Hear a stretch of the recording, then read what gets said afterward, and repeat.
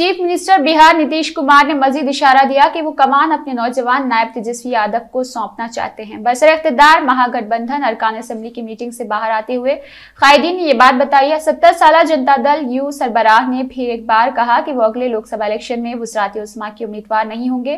ताहम उन्होंने ये ज़रूर कहा कि मुतहदा अपोजिशन दो में नरेंद्र मोदी को, बीजेपी को हरा सकती है। CPI, ML, liberation, legislature party Khaid Mahboob Alam ने कहा कि चीफ मिनिस्टर ने तेजस्वी जी की तरफ़ इशारा किया है और कहा कि वो मुस्तबिल के कायद है जिनकी क्यादत में रियासत में 2025 का असम्बली इलेक्शन लड़ा जा सकता है।